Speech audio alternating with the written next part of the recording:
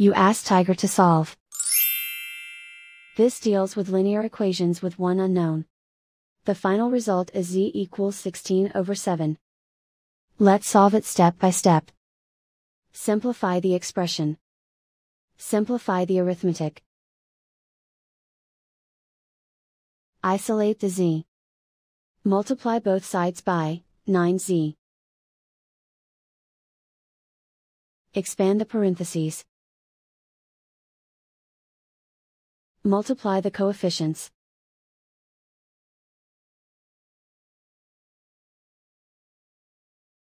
Find the greatest common factor of the numerator and denominator. Factor out and cancel the greatest common factor. Simplify the fraction. Multiply by 0.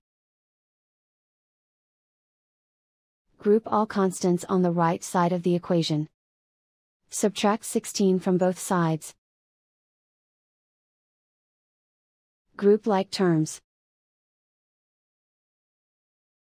Simplify the arithmetic.